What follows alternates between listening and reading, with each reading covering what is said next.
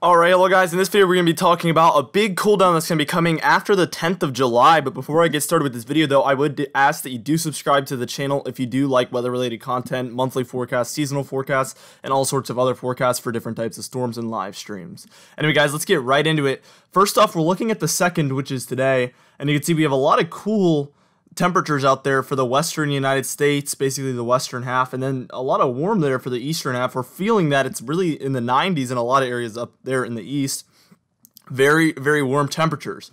Now we're going to go ahead and move on to Thursday the 4th, and this is kind of like your 4th of July forecast or whatever. So we see colder than temperatures again for that western half of the United States, and then very warm temperatures there for the eastern half of the United States, just like the last frame. I just wanted to throw that out there uh, just in case anybody was curious about the fourth.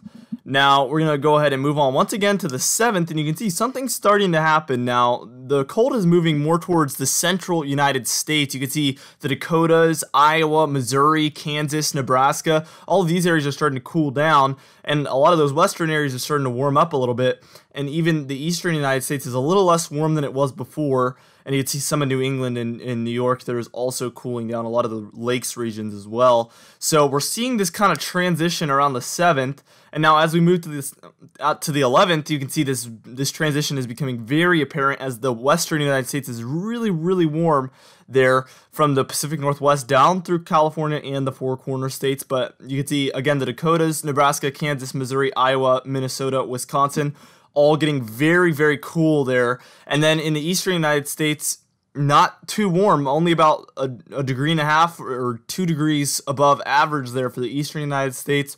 And we can see by the next frame on the 13th, that cold moves in to the entire eastern United States and central United States. And we really have a trough in the east by this point and a ridge in the west. If only we had a pattern like this in the winter, it would be extremely cold and snowy in the east. This is kind of a very favorable pattern for snowstorms, and it looks to happen in the summertime without the snowstorms.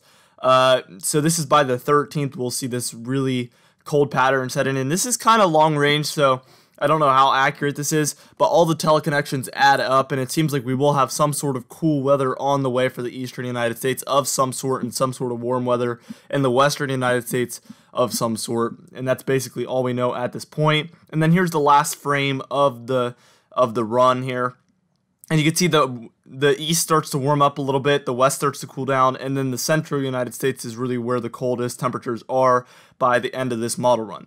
Anyway, guys, I hope you enjoyed this video, and I hope to see you in the next one. Have a great day.